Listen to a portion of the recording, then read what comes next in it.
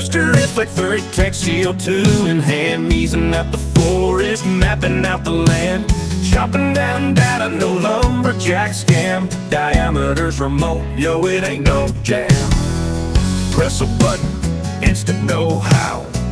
Height, distance, trees, bow down now. Score that geo spot, precise like a foul. Tech on wild as forestry, pow wow laser cutting edge precision Going beyond blurring division Tool of the future got that clear vision Inventor of plans, the forestry mission Height and remote diameter measurement.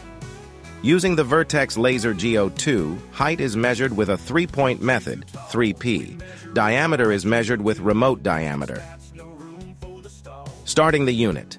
Press the on button to start the unit, then select the height 3P function. Measuring tree height. Aim at any point on the stem and briefly press the on button.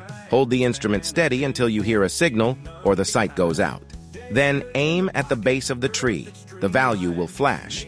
Then press and hold the on button until a signal is heard or the sight goes out. Next, aim at the top of the tree.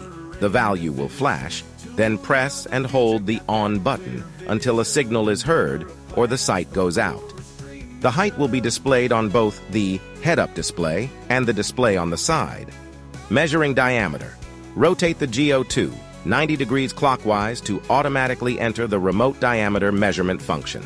You can choose between two sights in the remote diameter function, either two vertical bars or a horizontal sighting line. Aim at the stem where you want to measure the diameter. Align the vertical bars with bark edges using the arrow buttons.